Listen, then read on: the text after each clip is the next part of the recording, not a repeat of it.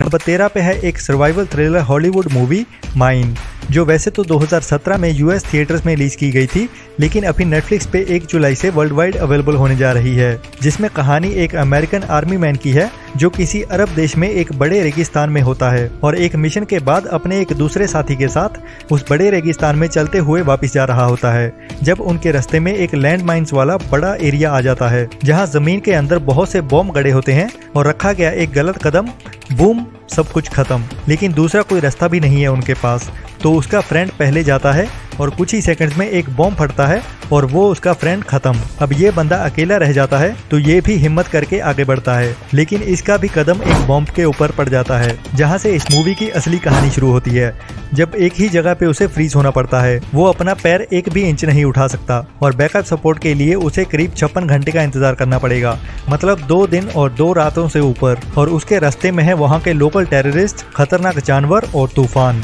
और रेगिस्तान के बड़े तूफ़ान। ये एक must watch survival thriller movie है, इसे मिस बिल्कुल नहीं कर